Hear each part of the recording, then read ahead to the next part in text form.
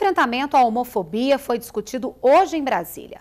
O governo conta com as secretarias de segurança pública para enfrentar o problema da intolerância contra os homossexuais e quer que o exemplo de respeito comece entre os policiais. A união civil entre pessoas do mesmo sexo já foi reconhecida pelo STF. A Parada do Orgulho Gay já faz parte do calendário de muitos estados. Apesar de tanta discussão em torno dos direitos dos homossexuais, eles ainda são obrigados a conviver com a violência e a discriminação. Um ser humano tem que ser respeitado. Pode ser o que for, ele tem que ser respeitado. O sentimento que a gente tem é de espanto. A gente pensa assim, a que ponto que chega o preconceito das pessoas, né? Então, esse é o único sentimento que eu tenho.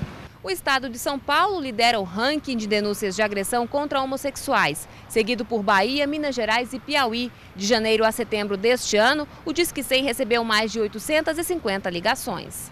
Esta delegada conta que a estratégia em São Paulo é o policiamento preventivo nas regiões com maior incidência de violência contra gays. A gente tem que é, partir do princípio que esses crimes eram subnotificados e que agora começaram, até a própria comunidade começou a denunciar mais esses crimes.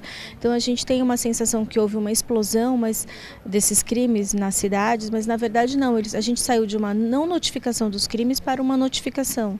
E acaba, isso acaba demonstrando que os crimes realmente acontecem acontecem como sempre aconteceram dentro da comunidade LGBT. Na Bahia, a receita adotada é o trabalho conjunto. A questão da denúncia nos favorece porque nós trabalhamos articulados com outras é, instituições.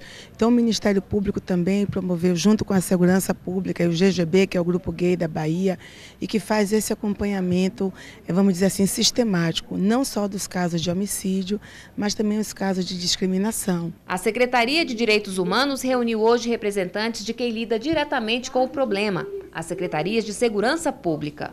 O governo federal conta com a ajuda deles para enfrentar a homofobia e quer que o exemplo de respeito comece entre os próprios policiais. Segundo o levantamento do Disque 100, além das denúncias de violência e discriminação, está o mau atendimento nas delegacias. Nós queremos apoiar, formar, educar, trabalhar conjuntamente, mas consideramos que quem não atende bem uma pessoa, por ela ser homossexual, também está praticando um ato indevido, também está indo contra a lei, também está agindo de forma homofóbica.